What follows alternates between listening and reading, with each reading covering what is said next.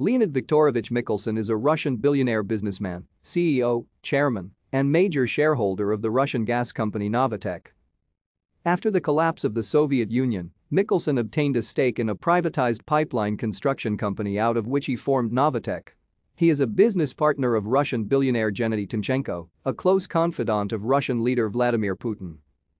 According to Bloomberg Billionaires Index, he has a net worth of US $34.5 billion as of October 2021, making him the 35th richest person in the world and the richest person in Russia.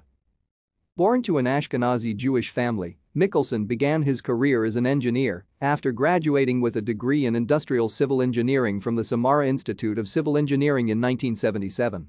He started working as a foreman at a construction and assembling company in the Tyumen area of Siberia. One of his initial projects was work on the Urengoy-Chelyabinsk gas pipeline. In 1985, he was appointed as chief engineer of Ryazantruboprovodstroy. Thank you for watching. Like and subscribe if you would like to view more of our videos. Have a nice day.